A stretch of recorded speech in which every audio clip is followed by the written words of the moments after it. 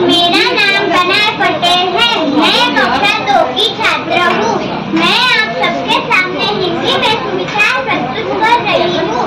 आज का सुविचार परिवर्तन ही इस संसार का नियम है। घबराए नहीं, बल्कि उसे स्वीकार करें। परिवर्तन आपको सफलता दिलाएँगे तो कुछ सफल होने के कोशिश